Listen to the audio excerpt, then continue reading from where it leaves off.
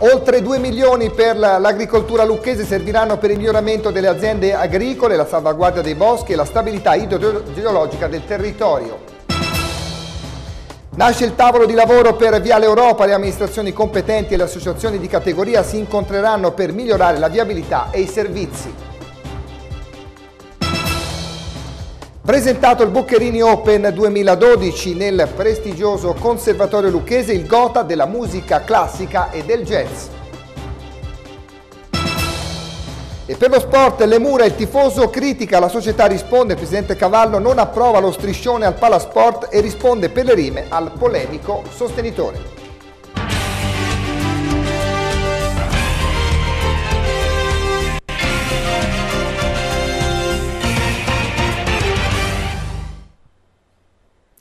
Di nuovo buonasera, benvenuti a questo appuntamento con l'informazione.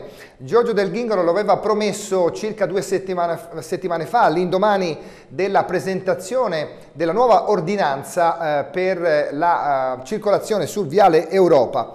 Aveva detto Del Ghingaro eh, convocherò eh, le parti eh, per mettere in piedi un tavolo di lavoro. Ebbene, ieri eh, questo è accaduto. Alla fine eh, della discussione si è deciso di rendere permanente questo tavolo. I dettagli nel servizio.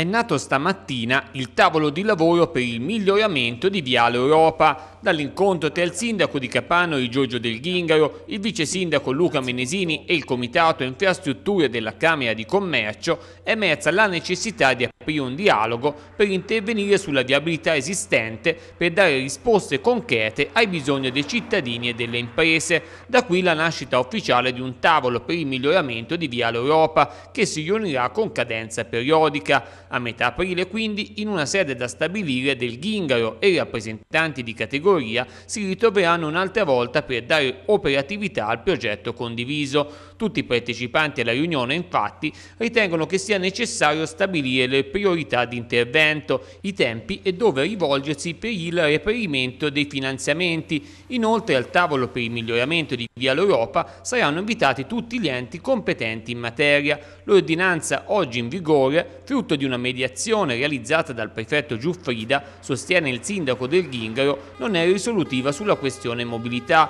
Per questo il tema merita un confronto aperto e condiviso per riuscire a elaborare strategie che diano maggiori opportunità all'intero territorio, sia dal punto di vista della qualità della vita, sia da quello della competitività del sistema imprenditoriale. Via l'Europa rappresenta una delle strade maggiormente transitate dai mezzi pesanti, per cui cominciare un percorso unitario proprio da queste arterie è doveroso, conclude Del Ghingaro. Il tavolo sarà operativo subito dopo Pasqua e tratterà di temi pratici come il numero delle rotonde da fare o la necessità di nuovi passaggi pedonali.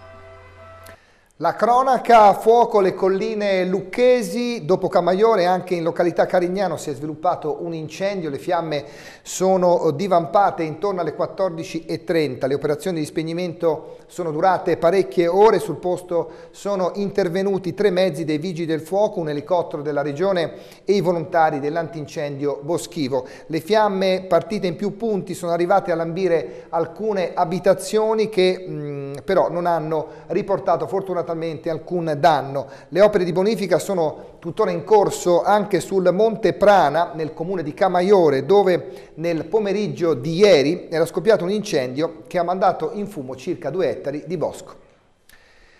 Ed è stata presentata stamattina a Palazzo Ducale la programmazione generale per eh, le risorse del 2013. Sul territorio provinciale saranno investiti 2 milioni e 280 mila euro. I dettagli nel servizio di Marco Baldocchi strade acquedotti rurali, elettrodotti e più in generale infrastrutture a servizio dell'agricoltura. Ecco come sarà investita una parte cospicua degli oltre 2 milioni e 280 mila euro che la Regione Toscana ha assegnato alla provincia di Lucca per il 2013 come contributo per il piano locale di sviluppo rurale. È importante sottolineare come degli oltre 2 milioni assegnati alla provincia, 547 mila euro rappresentano una sorta di premialità stabilità che la regione toscana ha voluto concedere ad un territorio che in questi anni ha dimostrato ottima capacità progettuale e ha sfruttato ogni opportunità offerta dai bandi europei.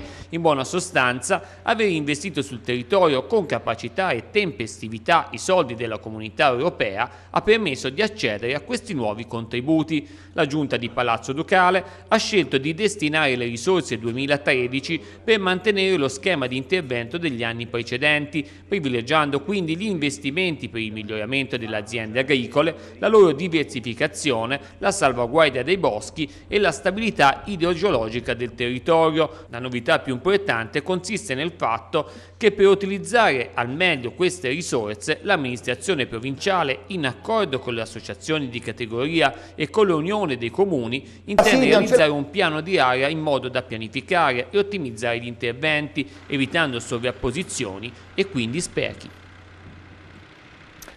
E la GEAL ha giudicato le gare di appalto per prolungare le fognature e l'acquedotto nell'oltreserchio e negli altri paesi. Si tratta di affidamenti pari a 1,7 milioni di euro immediatamente cantierabili. L'appalto più consistente, cioè l'estensione fognaria in via Nieri a San Cassiano a Vico, è andato all'impresa Giannini Giusto SRL di Porcari per un importo di 600, 615 mila euro.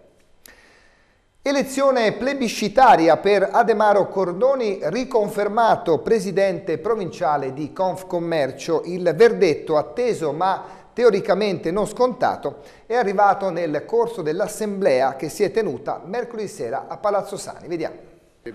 Ademaro Cordoni è stato rieletto presidente provinciale di Confcommercio Lucca. Il verdetto è arrivato mercoledì sera quando i cosiddetti grandi elettori, ovvero i rappresentanti di Valle del Serchio, Piana Versilia e Città Capoluogo, nominati nelle scorse settimane nel corso delle riunioni preliminari tenutesi sul territorio, hanno ribadito la propria fiducia al presidente uscente. Cordoni del resto era l'unico candidato in lizza, a dimostrazione che la base era tutta con lui. Secondo mandato consecutivo dunque con il rieletto presidente presidente che resterà in carica sino al 2016.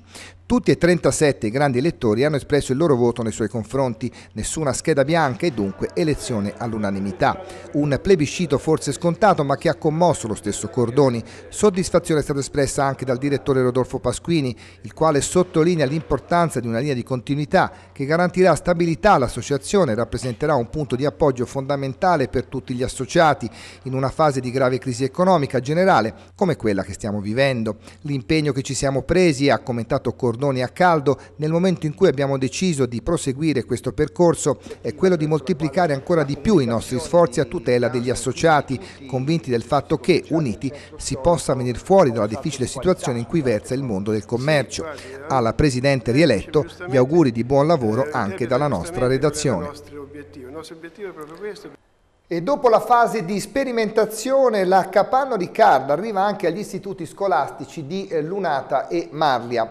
Il sistema, eh, secondo l'amministrazione comunale, è molto più moderno e veloce perché prevede l'abolizione dei blocchetti dei buoni pasto mh, cartacei con l'obiettivo di semplificare le procedure. Alle famiglie viene infatti distribuita una tessera magnetica personalizzata, gratuita, simile a quella del bancomat con la, con la quale si può pagare il servizio mensa attraverso una semplice ricarica della tessera da effettuarsi all'ufficio relazioni con il pubblico del comune in piazza Aldomoro oppure agli sportelli del cittadino di Marlia e San Leonardo in Treponzio. Ci eh, spostiamo ancora a Lucca dove è stato presentato stamane il ricco cartellone del Boccherini Open di primavera. In questa rassegna si segnalano la presenza del primo violinista della Filarmonica di Berlino, Capponi, e quella del celeberrimo jazzista Rava. Il servizio. Direttore, forse a volte si esagera dicendo eccellenza, però per quanto riguarda Boccherini per quanto riguarda questa manifestazione si può davvero parlare di eccellenza? Io credo proprio di sì, ormai sono al terzo anno di questa edizione di Open eh, che è il nostro acronimo delle nostre ospiti in concerto, performance, eventi e note d'arte e di cultura. Io credo che questa sia un'eccellenza veramente. Sono venuti in questi anni quattro premi Oscar a trovarci, quest'anno ci sono eventi eccezionali come la realizzazione della nona di Beethoven, come Enrico Rava che verrà a trovarci, grande jazzista, a parlare con i nostri allievi. Credo che veramente sia un'attività di, di, eccellenza e che, spero che la, la città se ne renda conto. Credo che un altro aspetto che non è da sottovalutare in questo momento anche di crisi concertistica sia il fatto che sia tutto gratuito. Questa è una nostra prerogativa, noi vogliamo che sia tutto gratuito e questo lo possiamo, ce lo possiamo anche permettere grazie all'intervento dei nostri sponsor, della fondazione e delle fondazioni bancarie qui di Lucca che ce lo permettono, però noi vogliamo che sia così perché vogliamo il Boccherini aperto, vogliamo che il Boccherini sia presente in città, vogliamo che la città possa partecipare eh, senza nessun eh, ostacolo a questo. L'importanza del Boccherini Open, che si svolgerà da aprile fino a giugno, non è data solo dai grandi personaggi che giungeranno a Lucca, ma anche per il forte impatto didattico sugli allievi del Conservatorio Lucchese. C'è la possibilità per gli studenti di, di suonare, quindi di essere parte eh, effettiva del, dell'esecuzione, come nella nona di Beethoven che faremo a giugno e di altri concerti come ad esempio con il violinista Cappone eh, dove sarà l'orchestra del Boccherini ad accompagnare eh, questo grande solista e grande musicista a livello, a livello, internazionale. È chiaramente un arricchimento, è un qualcosa che, che non tutti gli istituti a questo livello riescono a, a dare, a proporre al corpo studenti. Scade eh, martedì 3 aprile alle 20, alle 20, il termine per la presentazione delle liste per le elezioni amministrative del 5 e 6 maggio prossimi. Le liste dovranno essere presentate nei locali eh, predisposti appositamente al piano terra di Palazzo Orsetti in via Santa Giustina numero 6. Mercoledì dunque sapremo se tutti e 11 i candidati che sinora eh, si sono proposti saranno davvero della partita a queste che davvero sembra, eh, sembrano essere elezioni molto affollate nel, nel primo turno. Domani a mezzogiorno inaugura la quinta edizione di eh, Verdemura, la manifestazione dedicata al giardinaggio e all'area aperta, organizzata dal Comune, dall'Opera delle Mura con il sostegno delle fondazioni. Eh, si conferma eh, come lo scorso anno l'aumento dello spazio espositivo e di iniziative di promozione per eh, far vivere agli appassionati un weekend di sogno a Lucca. E domani inaugura anche Terme Benessere all'ex eh, all'ex eh, polo, all'attuale polo fioristico, all'ex oleoficio di Sorbano, ehm, un'altra manifestazione che richiamerà sicuramente a Lucca tanti appassionati del cosiddetto bien vivre. E domani, a partire dalle 20, al bar Dolce Vita di Antonio Rossi a Lunata, si terrà il secondo appuntamento del concorso per giovani band musicali Musica a Tasso Zero. Sul palco del Dolce Vita saliranno sei gruppi, Maneggiare con cura, Torpore Vitreo, Le Note, fo le note Folli, Baffo Men, Shamrock e Norhord. Le, le band saranno, guidate, saranno giudicate da una giuria eh, popolare. Le più brave si sfideranno sul palco del concerto in programma il 30 aprile mh, in piazza Aldomoro a Capano. Ricordiamo poi il eh, primo maggio il concerto invece con Samuele Bersani, attesissimo appunto per celebrare la giornata del lavoro. L'ingresso a questa serata è libero. E adesso eh, ci fermiamo un secondo per la sigla e poi la rica pagina sportiva.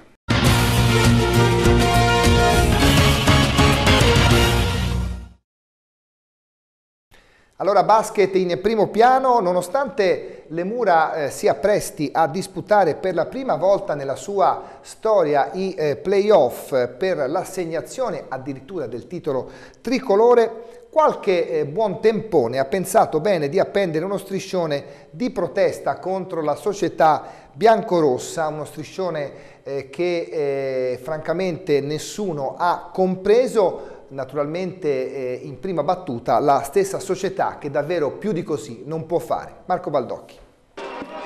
È proprio vero, a volte si vuole la botte piena e la moglie ubriaca, o meglio si vuole vedere vincere la propria squadra del cuore ma anche decidere delle scelte societarie. Ecco che lo striscione esposto stamattina al Palatagliate e poi rimosso che recitava Vince, Lidia, Mirko non si toccano ha sorpreso e non poco il presidente del basket Lemuria Rodolfo Cavallo, che in una lettera alle redazioni esprime tutto il proprio rammarico per un'ingerenza di qualche tifoso del tutto immotivata e assolutamente da biasimare. Si legge nella lettera comunicato Voglio ribadire con fermezza che questo striscione esprime esattamente anche il pensiero mio e degli altri dirigenti. E ancora, Lidia Gorlin, Vincenzo Buchignani e Mirko Diamanti, nel rispetto dei rispettivi ruoli, hanno sempre goduto della piena stima, fiducia e autonomia e a loro va da anni il plauso e ringraziamento per il preziosissimo contributo. Il Presidente ricorda anche che se dal punto di vista sportivo la stagione sia da incorniciare, sul piano gestionale la situazione sia stata più complessa, un po' come dire, ma questo tutti gli appassionati lucchesi ben sanno, che il miracolo Lemura 2011-2012 è ancora più incredibile se considerato che il piccolo budget lucchese si è dovuto scontrare con società storiche del palcoscenico nazionale. Il Presidente invita tutti i tifosi a lasciare stare inutili polemiche e a concentrarsi alla partita di giovedì prossimo, quando al Palatagliate arriverà la Diomatic Umbertide. E le mura avranno il vantaggio del fattore campo, essendo arrivate eh, un gradino sopra le rivali, quindi eh, eventuale gara 3 si giocherà al pala tagliate e sappiamo quanto quest'anno il fattore campo abbia inciso nel eh, rendimento delle ragazze di Diamanti. Dalle donne agli uomini in previsione della trasferta a Legnano di domenica prossima l'Arcantea ha sfruttato i buoni rapporti con la società pistoiese di Lega 2 per giocare un amichevole, un, in un buon test infrasettimanale le immagini che vedete si riferiscono alla gara di eh, domenica scorsa. Il punteggio, come sempre succede in questi casi, è stato resettato all'inizio di ogni parziale, ma i lucchesi hanno messo in mostra buone cose nell'arco della gara con ottimi frangenti nei quarti dispari. Era un'occasione per verificare soprattutto le condizioni di Diego Zivic che impegnato contro avversari di grande valore come Galanda e Toppo ha mostrato di essere sulla via del pieno recupero giocando in pratica due quarti. Positive le impressioni a fine gara di coach Roberto Russo, l'amichevole è stata buona, al di là di una partenza un po' lenta, poi siamo cresciuti di, di intensità e le cose sono migliorate. Zivic ha fatto fatica come tutti all'inizio e lui a maggior ragione dopo uno stop così lungo, poi è andato in crescendo. E eh, dal basket alla ginnastica ritmica, grande soddisfazione per la ritmica Lucca e tutto il suo staff, Federica Aviani e Marta Riccucci su tutti, per il terzo posto di Sara Consani che vediamo in questa foto, alle gare valide come selezioni interregionali di ginnastica ritmica, settore agonistico, che sono svolte ad Andria domenica 25 marzo. La giovanissima atleta lucchese si è disimpegnata con un ottimo esercizio alla fune, eseguito al massimo delle sue possibilità, senza errori e con una notevole grinta che ha impressionato la giuria. Nel weekend si, sono, eh, si è disputato a Grosseto anche il trofeo WISP Maglio Brozzi dove la squadra delle ginnaste lucchesi Francesca Della Rocca, Costanza Betti, Lavinia Nardi, eh, Tina Sassetti e Matilde Pacini ha ben figurato conquistando un quarto posto nell'esercizio libero, al corpo libero e un quinto posto con i cerchi e dalla ginnastica al ciclismo, altra eh, trasferta importante per la, per la, Michela Fanini Record Rocks nel prossimo fine settimana. Domenica eh, la formazione lucchese sarà in gara al Giro delle Fiandre, prova di Coppa del Mondo. Lunedì ancora una gara internazionale in Belgio in occasione di un'altra classica. Per questi due giorni nel nord Europa il direttore sportivo Roberto Carube Lencioni ha convocato la russa Burkenkova, la ceca Ruzikova, la campionessa di Israele Ella, la messicana Leal Balderas al suo esordio stagionale nel vecchio continente e le italiane Valentina Scandolara e Lorena Foresi. L'obiettivo, ha sottolineato il DS, è quello di crescere ancora nella tappa italiana di World Cup a Cittiglio. Siamo andati bene soprattutto con la Burkenkova e la Scandolara. Finite nel primo gruppo 23esima e 29esima, che si sono messe in luce più volte sull'insidioso tracciato. In Belgio eh, la squadra e i dirigenti utilizzeranno due ammiraglie eh, ASX fornite dalla importante casa automobilistica Mitsubishi Motors Italia, una collaborazione avviata con il Giro della Toscana e che Brunello Fanini è riuscito a confermare anche per il resto della stagione. E questa era la nostra ultima notizia anche per questa sera. Vi ricordo che servizi eh, e notizie sono disponibili sul nostro sito eh, dilucca.it. Vi ricordo anche che sabato mattina a partire dalle 11 saremo in diretta dall'antico caffè delle Mura che dopo tanti anni riaprirà i battenti. È una cerimonia molto attesa perché eh, la città eh, riacquista un monumento straordinario eh, che è testimone davvero della storia eh, della, della, città. Eh, dopo un lungo e eh, anche complesso restauro, il Caffè delle Mura dunque riaprirà al pubblico e eh, sabato mattina ci sarà una, ehm, una conferenza dove i tecnici, compreso il sovrintendente eh, Glauco Borella eh, spiegheranno i dettagli di questo lungo restauro che ha restituito appunto alla città un monumento importante come l'antico Caffè delle Mura e noi vi trasmetteremo in diretta questo evento a partire dalle 11. Grazie per essere stati con noi, vi auguro una buona serata, arrivederci.